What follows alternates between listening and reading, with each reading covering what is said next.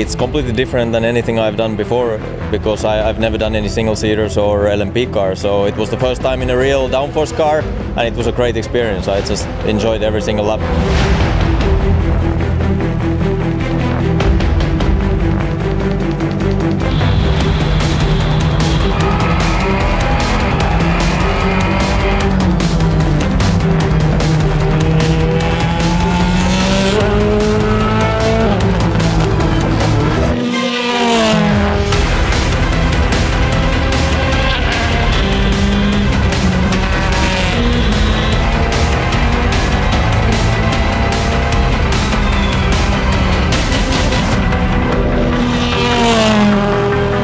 Well, it was indeed a great season, both on, in Europe and in, in, the States.